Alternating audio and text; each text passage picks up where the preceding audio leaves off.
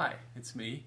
Um, I know last week I was at the Boz Scaggs concert, and it must have been a little bit weird to have somebody say, "Oh yeah, I'm on a concert, and I'm going to be late uh, getting your grades back to you." Of course, I got lucky, and I had great internet access, and so I got the grades back on time, which makes me happy, and I hope it makes you happy too. Anyway, um, in going through last week's postings, I did notice um, something that was really good, which is that people were starting to feel more comfortable responding critically to each other's postings.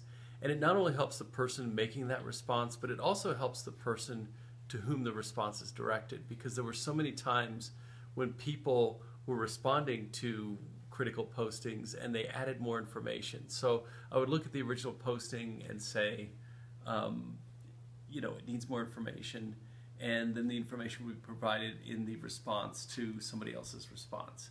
So bear that in mind that when you're um, responding critically, you're actually helping somebody else out. And when you're responding to a critical response, you're actually helping yourself out. So that's something to bear in mind in future discussions. Now, this week, I know you had a big paper due. Um, my plan is, I think, to grade the discussion first and then get to your paper toward the end of the week. And I hope to have all the papers done by Friday. So I hope that paper went well for you. Um, if you have any feedback, especially on the paper, and you're just not sure about the feedback, feel free to email me for clarification. All right? Have a great week.